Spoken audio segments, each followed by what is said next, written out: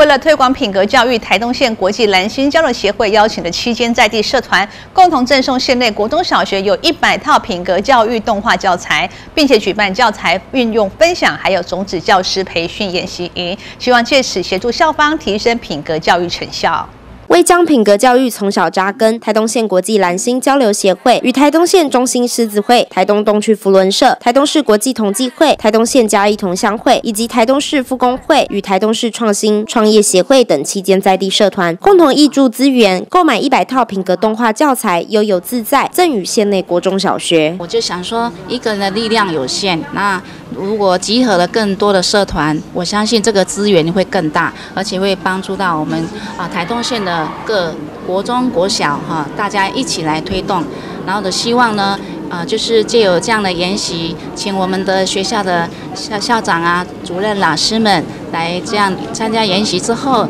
他们就可以成为种子部队，然后呢，落实的把这一套教材能够 品格教育能够带到我们的学校里面。让我们的小朋友哈从小扎根来学习这样这么好的一个一个品格教育。邀集县内国中小教育人员参与教材运用分享暨种子教师培训研习营。动画制作人林善本表示，悠游自在，传递文字字意与内涵，借由动画及故事，将汉字中蕴含的文化与道德涵养，以深入简出的方式举例说明。因为它是字源教学法，就是说在学字的时候是溯源到字的那个甲骨文和。经文，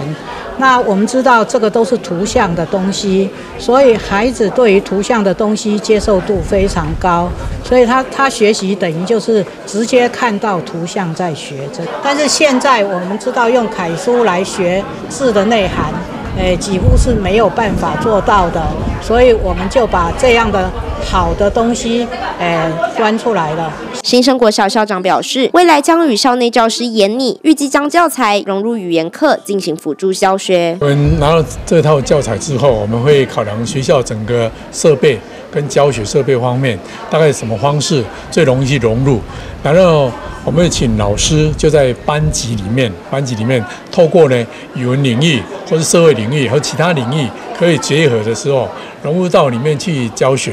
拿到教学之后呢，啊，让这些动画东西让小朋友产生学习的动机，然后再结合我们图书馆里面的阅读，然后做心得的一个写作。主办方表示，依据十二年国民基本教育课纲，为落实道德实践与公民意识，期盼透过多元创意教材，丰富学童语文能力，并养成知善乐善与行善兼具的品格素养。记者江碧任台东市报道。